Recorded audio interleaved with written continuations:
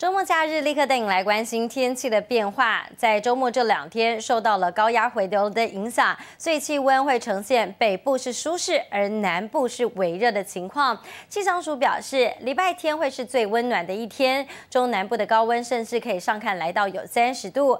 不过，等到了礼拜一，就会有封面抵达。到时候，北东还有南部的山区都会是属于有雨的天气形态，而且冷空气紧接着南下，强度甚至来挑战的是冷气团等级。礼拜三跟礼拜四的清晨是会最冷的，局部的低温甚至可以下探来到十度。